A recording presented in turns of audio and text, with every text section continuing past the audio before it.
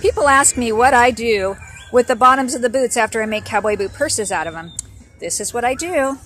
After I cut them off, if they're in good shape, I'll hand lace them up into these booties.